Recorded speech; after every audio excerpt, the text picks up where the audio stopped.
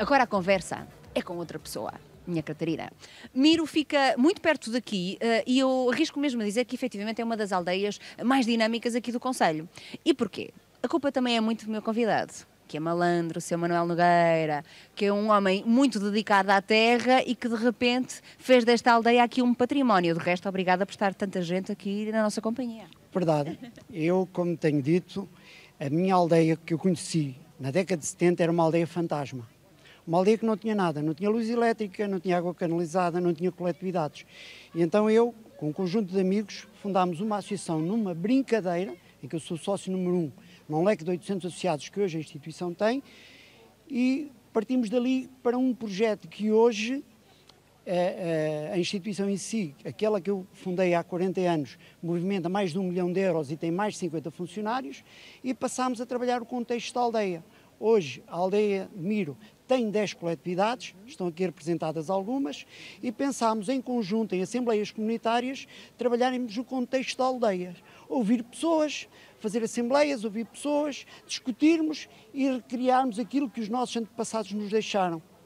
Como, por exemplo, eh, no Natal fazemos, eh, em janeiro, começamos com os cantares das janeiras, depois vamos ter o Miro Intrudo, com, com o desfile e enterro do intrudo na terça-feira, temos a festa do barqueiro em que recriamos uh, a tradição e que era aquilo que empregava mais pessoas nos finais do, século XIX em Penacoba, que era a barcagem, portanto, em que transportavam sal da Figueira da Foz, lenha, carca, uh, arroz do Baixo do Mondego e louças de Coimbra para as beiras, que depois eram levadas em carros de bois. No regresso levavam lenha carqueja para as padarias de Coimbra, estudantes e professores para a Universidade de Coimbra, romeiros para a Rainha Santa, e portanto fazemos essa recriação também em julho. Em setembro fazemos a festa da Broa, uma criação ao vivo em, na Apanha da Espiga, um, transporte para a Eira, a descamisada à moda antiga e, e uma, uma, noite cultural. Depois, em dezembro, começámos o ano passado, este ano foi um sucesso, transformamos Miro na aldeia Presépio, onde nós convidámos em assembleia as pessoas a virem para a rua, a trazerem para a rua as coisas que faziam dentro de casa. Hoje faz na aldeia cerca de 100 presépios e decorações de Natal. Sabe uma coisa, Sr. Manuel? Estou encantada a ouvi-lo e a pensar que, sobretudo, se todas as aldeias de Portugal tivessem o Sr. Manuel Nogueira, Bem, não, não assistíamos, a, infelizmente, a muita desertificação e a falta de paixão que se vai tendo pela terra. Vou aqui dar uma palavrinha aqui a quem o acompanha. Falou de umas coletividades. Estão aqui? Estão, estão aqui? Ah, mas estes senhores Sim. são da Associação de Festeiros de Miro. O que é que fazem? Olá, boa tarde. Boa tarde. Como se chama? Nuno Almeida. Não estava à espera de falar, pois não, não. Conte-nos um bocadinho da associação, o que é que fazem? Uh, somos um grupo de amigos em que hum, também apoiamos o Sr. Manuel Nogueira no Miro Mais que Lugar e para ele ter já um, uma salva de palmas e um obrigado por nos ter convidado também. Muito bem. Pronto, e não tenho mais nada a dizer. Como é se chama? Carlos Moreira. Assina por baixo, Sr. Carlos. Assina por baixo, sim, senhor. Bem, esta princesa, rapidamente, como se chama? Joana. E a Joana está aqui a representar? O traje dos barqueiros do Mondego do rancho típico Mira. É muito pesado? Um bocadinho. Então vamos, vamos rapidamente só, como se chama? Olga Oliveira. E o Olga Oliveira está aqui, na qualidade de?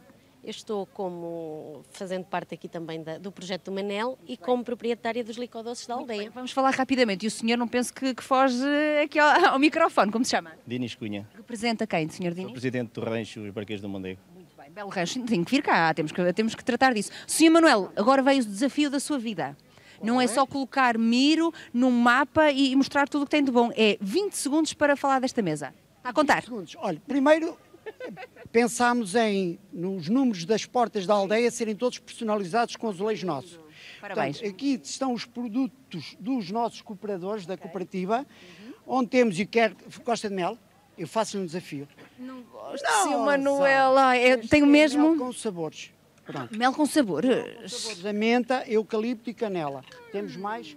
Pronto, então isto são os produtos dos nossos cooperadores da cooperativa, okay. que nós fazemos questão de recolher uhum. entre cada um e depois embalamos nos, nos nossos saquinhos personalizados, o vinho, uh, os licores. da Olga, que são licodoces da aldeia, os licores da aldeia, mas tem mir mais do que um lugar atrás, o artesão, que é o Soré de Mar, a broa, que é de outro, de outro produtor, e pronto, são, são coisinhas que nós vamos, ah, isto também são bolachas que nós próprios criamos, bolachas com flor de sal. Ah, olha, essa Miro, tem que ser. esta tem que Miro ser. não. O senhor Miro, senhor Manuel. Nogueira, de Miro, assim é que é. Olha, ainda bem que me deu estas bolachinhas, sabe porquê?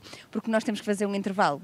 É? E assim eu posso dar umas dentadas, beber uma chávenazinha Ok. de chá e levar Miro no coração. Gostei muito de conhecer, senhor Manuel. Leva uma recordação Ah, nossa uma e recordação. depois para os restantes. para os meus queridos, sim senhora, assim será. Muito, muito obrigada, Sr. Manuel. Parabéns por tanta perseverança e por tanta paixão. Fazemos um intervalo porque estas bolachinhas aqui estão a, mesmo aqui a se pedir uma dentada. Beijinhos e até já.